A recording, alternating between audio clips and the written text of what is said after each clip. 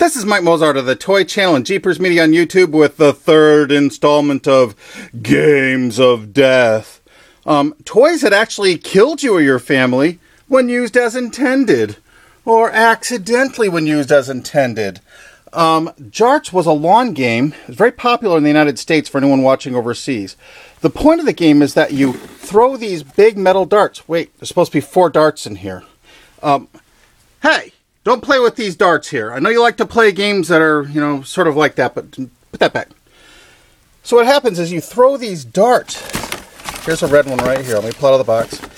And they have these sharp metal tips, which only become sharper and sharper and sharper when they're driven into lawns, particularly in areas of the country where the soil is very sandy.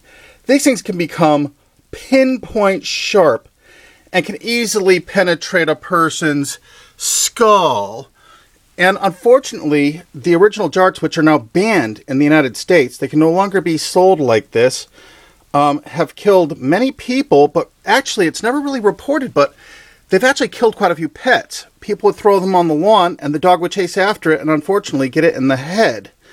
I'm not kidding. These were actually so dangerous they were banned in the United States. I'm sure that you had something to do with this.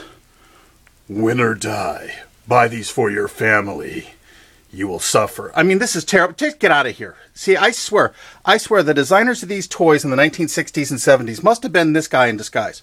This is the saw puppet doll I reviewed just a little while ago. But what would happen is people would throw these, and of course, kids aren't perfect like this eight year old girl here, and she'd make a wild throw and boom! Dad gets it in the head. Oh, it's just a Halloween prop. I just wanted to show what happened. This happened many, many times, and these have killed many people and severely injured them and crippled them. You're just too evil. You must be the one designing these toys. Well, they were banned. You can still buy jarts with plastic tips on them. Unfortunately, you can still buy them on Craigslist. eBay banned the sale of these. But unfortunately, on eBay, enterprising people sell the replacement component parts of these and doesn't it decline to someone to figure out, hey, you buy four sets of fins, four sets of points, and four sets of the body tube and you have Jart. But I highly recommend if you have these to destroy them. I highly recommend that you don't even keep them around your house in case somebody stumbles upon them and something like that happens. I mean, really. Jarts, probably one of the top 10 most deadly toys that was ever made and manufactured in the United States. By Mike Mozart of the Toy Channel.